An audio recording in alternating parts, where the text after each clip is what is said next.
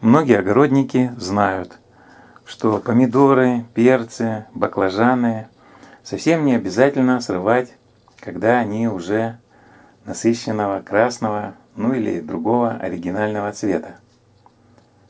Ну а кто не знает, я напомню, что плоды можно снимать бланжевыми, то есть только когда они начинают поспевать, или даже полностью сформировавшимися зелеными. Это ничуть им не помешает дозариться в теплом помещении. Больше того, в плохую погоду, вот как у нас сейчас, то есть идут опять дожди, 10 августа, а дожди продолжаются и заканчиваться не собираются, поэтому даже необходимо снимать плоды пораньше, что я и делаю. Часть плодов сразу уходит на переработку, часть идет на еду, но остальные я размещаю в подобных вот ящиках, и они здесь неплохо дозариваются прямо в домике, в тепле, поскольку на улице уже становится прохладно.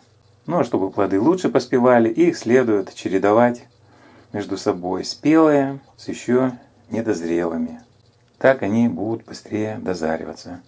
Дело в том, что плоды при поспевании выделяют некоторые вещества, и это помогает другим плодам тоже быстрее доходить до нужной кондиции. Так происходит и с помидорами, и с перцами, да и с баклажанами тоже.